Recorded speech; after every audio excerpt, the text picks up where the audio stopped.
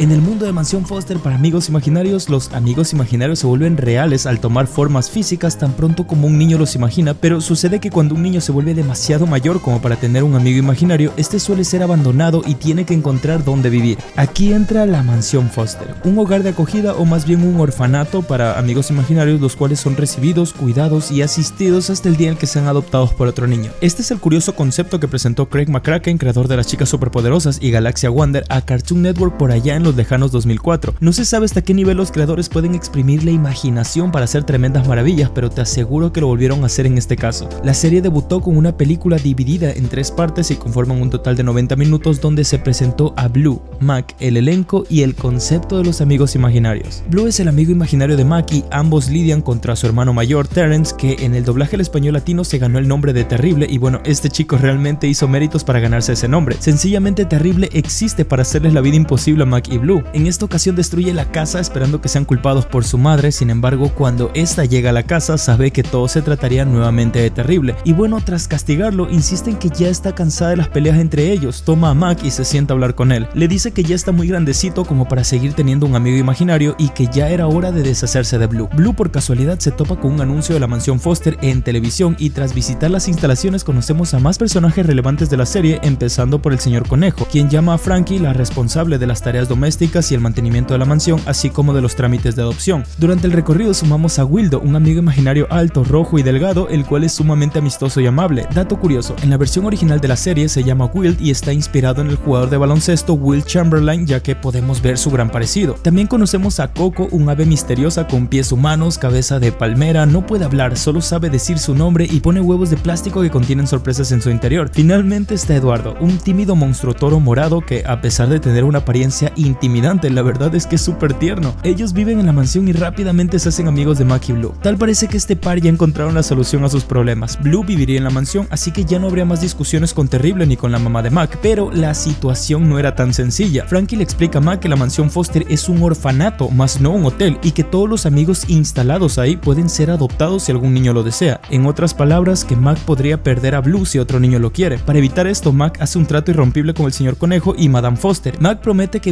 visitaría a Blue todos los días después de la escuela a las 3 de la tarde. Esto para que Blue pueda vivir en la mansión sin ser adoptado, ya que mientras Mac llegue a verlo, seguiría siendo el legítimo dueño y bueno, así es como se da inicio a una de las series más especiales que tuve la oportunidad de ver cuando era niño. Craig McCracken, creador de la serie, generó el concepto de un programa sobre la adopción, pero en forma de amigos imaginarios, ya que cuando fue a adoptar perritos con su prometida, siempre se preguntó qué habría sido de la vida de los demás perritos. Gracias a este proyecto, Craig ha sido muy aclamado y también considerado uno de los creadores más exitosos de dibujos animados, destacando más que nada su estilo innovador en la animación y es que sin lugar a dudas Mansión Foster era algo diferente a lo que normalmente veíamos en aquellos días. Mientras la mayoría de cartoons se basaban en personas o animales, este nos proponía algo nuevo, seres producto de la imaginación de los niños, pero no eran personajes huecos, tenían personalidades muy complejas y consolidadas, comenzando con Eduardo, quien se ve enorme y aterrador gracias a sus grandes cuernos, su cinturón de calaveras y sus dientes afilados. Cualquiera que lo veía por primera vez obviamente se llevaba un gran susto, pero a pesar de su aspecto aterrador, Eduardo en realidad era muy tímido y de hecho evitaba cualquier tipo de conflicto. ¿Cómo es posible que un amigo imaginario llegue a tener este tipo de personalidad? Sucede que estas personalidades son el reflejo de lo que les hace falta a sus creadores y necesitan con desesperación. Tomamos su ejemplo ya que su creadora era una niña temerosa e insegura que creció en un barrio muy peligroso, por no decir en Latinoamérica, y necesitaba a alguien que la proteja, pero por otro lado también quería que este amigo imaginario sea tierno con su hermano menor y dulce con ella. Es así como creó a Eduardo, para que la proteja. Sin embargo, con el paso del tiempo entendió la verdadera razón por la que Eduardo era así, para enseñarle a ser valiente por sí misma y también ella lo pueda proteger a él. Gracias a esto, actualmente la dueña de Eduardo es policía y protege a los demás ciudadanos. Vamos con Wildo. Este amigo imaginario siempre se mostraba compasivo y amable, lo cual contrastaba un poco con su apariencia imponente, pero la verdad es que era muy amigable. Su diseño único con un ojo chueco y un brazo desproporcionado lo hacían aún más memorable y terminaba sus frases preguntándote sobre si estabas bien o sin cometer algún error te pedía reiteradas disculpas. El creador de Wildo era Jordan Michaels, una parodia del jugador Michael Jordan, quien necesitaba un amigo imaginario que le enseñase a jugar baloncesto. Juntos eran imparables en la cancha e inseparables en la vida. Lastimosamente en un partido contra otro chico y su amigo imaginario, Jordan estuvo a punto de morir aplastado por su contrincante, pero Wildo lo empuja recibiendo todo el impacto. Wildo sufrió daños permanentes y perdió gran parte de su brazo izquierdo, pero es curioso como aún destrozado en el piso, pensó que decepcionó a su creador por perder el juego y por eso decide huir para siempre de él. Y es que esto es precisamente a lo que me refiero cuando digo que el programa era especial. O sea, las historias detrás de sus personajes son experiencias que juegan con nuestras expectativas y nos enseñan a no juzgar a alguien por su apariencia exterior. En cuanto a Coco, bueno, Coco fue encontrada en una isla por un par de chicos que se la llevaron para estudiarla, sin embargo la verdadera historia de quién la creó y por qué fue finalmente respondida por su creador Craig McCracken. Sucede que la creadora de Coco tuvo un accidente de avión terminando varada en una isla. Su cabeza es una palmera, su pico es una boya desinflada, su cuerpo es el avión estrellado y sus pies naranjas eran los pies quemados que ella tenía por el sol. Respecto a su nombre y a la única palabra que podía decir, o sea, Coco, era porque esto es lo único que comía la sobreviviente. Y bueno, su extraña personalidad se deriva de que su creadora no estaba bien mentalmente al pasar tanto tiempo en el naufragio. A la final seguramente su creadora fue rescatada, pero Coco decidió quedarse en la isla y es ahí donde le encuentran los chicos que te mencioné anteriormente. Estoy seguro de que esa historia no te la sabías. Finalmente agregaré a queso.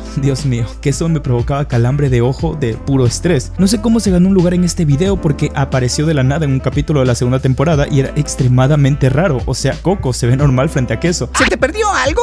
Quiero leche con chocolate. Amaba la leche con chocolate, pero era intolerante a la lactosa. Protagonizaba bumpers de Cartoon Network como si fuera la estrella del show y debo decir eran súper raros.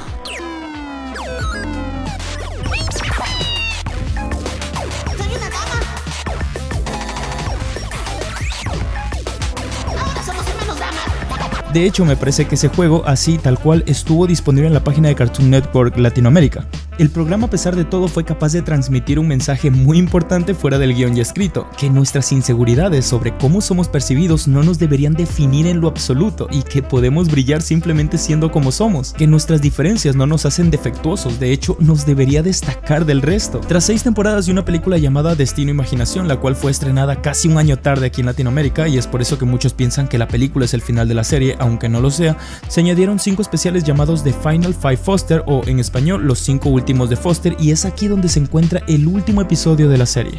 Adiós a Blue. Blue, como cualquier otro día, estaba ansioso por la visita de Mac, el cual ya estaba tardando demasiado. Como lo mencioné anteriormente, Blue puede ser adoptado si Mac no va a visitarlo todos los días a las 3 de la tarde y ya eran las 4. Por ende, Blue temía que el señor conejo lo ofrezca en adopción y es que para rematar ese día había una familia interesada y quería un amigo imaginario con las características de Blue. Blue desesperado intenta esconderse para que no lo adopten, pero cuando llegó el señor conejo no lo recomendó para la adopción, recomendó a otro amigo imaginario.